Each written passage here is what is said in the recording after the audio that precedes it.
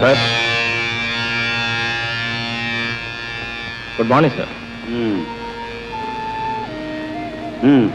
thank you sir Raju hmm? నీ శిక్షాకాలం పూర్తయింది. Hmm? ఇకనైనా బయటికెళ్ళి బుద్ధిగా ఉండు. అసలే పొగరబోతు. ఆత్మాభిమానికి మరో పేరు పొగరబోతే అయితే నేను పొగరబోతున్నా సార్ థ్యాంక్ యూ